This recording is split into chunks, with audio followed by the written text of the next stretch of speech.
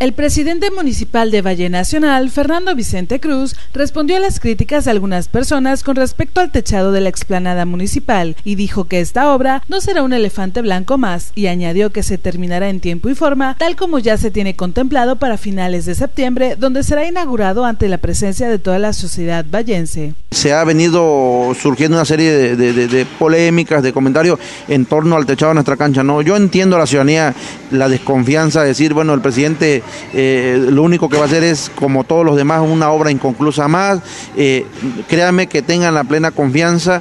Eh,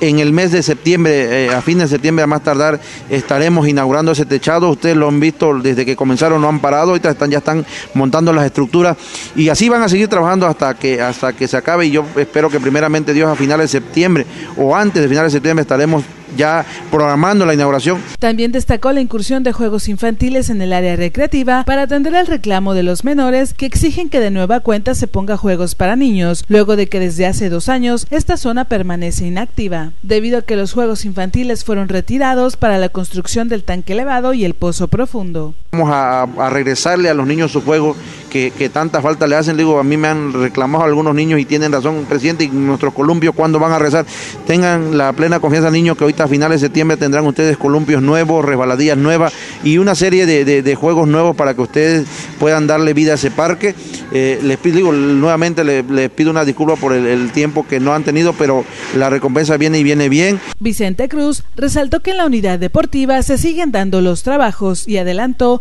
que implementarán un gimnasio al aire libre y comentó que otros más de estos aparatos se estarán donando en algunos bachilleres como la escuela preparatoria y el CECITE Plantel 09 para el esparcimiento de los estudiantes. De esta manera, el edil manifestó los trabajos que se vienen realizando dentro de su gestión, por lo que aseguró que será en este mes cuando se entreguen los compromisos contraídos con la sociedad en torno a los trabajos que traerá beneficios a los diferentes sectores del municipio. Por el espacio que requieren los 36 aparatos que no lo tenemos,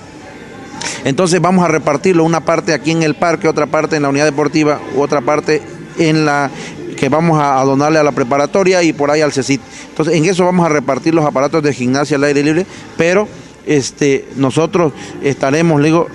eh, en el, en el, mes de septiembre, primeramente Dios ya a finales inaugurando nuestra cancha techada, inaugurando los juegos de los niños, eh, algo, algo muy, muy bonito, ¿no?